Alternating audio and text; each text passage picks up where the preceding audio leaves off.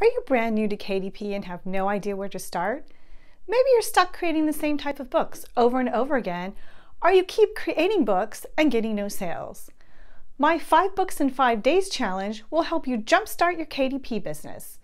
Not only will I take you step by step through creating 5 different types of books, I'll also teach you everything you need to know to get your books published on KDP. The challenge will run from May 17th to May 21st. Here's what's included in the challenge. You'll get access to a private Facebook group. You will receive a workbook with daily assignments. You'll get one month pro member access at aududu.com to help you get your books created. There will be a daily tutorial video to teach you how to create each book type using Aududu's tools. There will also be a daily educational video to teach you all the ins and outs of publishing on KDP. At the end of the challenge, you'll have the option to purchase an Aududu Life membership. Lifetime memberships are only offered to our challenge members. If you watch each day's videos and complete each day's homework, you will have no excuse for not finishing all five books. Here's an overview of each day. For those of you brand new to KDP, I've added a day zero. The day zero content will get you up to speed so you'll be ready to hit the ground running when the challenge starts.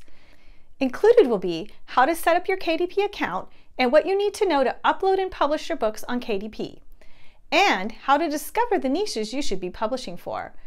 There will also be a bonus video providing you with everything you need to know about creating covers. On day one, we'll talk about planners and how to research your target audience. You'll learn how to create both dated and undated planners and how to customize them for your target audience. We'll also talk about how to research your target audience so you create books they will want to buy. Day two will be about journals and mapping out your books. You will learn about all the different types of journals you can create and how to map out your books before you start creating to keep you organized and save you time. On day three, we'll talk about logbooks and selecting categories. We'll talk about how to create multiple logging and tracker type pages and combine them into one book to produce something unique your target audience will love. We'll also go over how to pick out the best categories for your books. Day four will focus on creating maze, game, and Sudoku books. We'll also discuss how to pick out keywords and write descriptions to help your books get found and bought. On our last day, we will talk about creating word search and crossword puzzle books. We'll also go over how to run ads on Amazon to increase your sales numbers. The cart will remain open until the challenge starts. Once the challenge starts, it will be too late to join.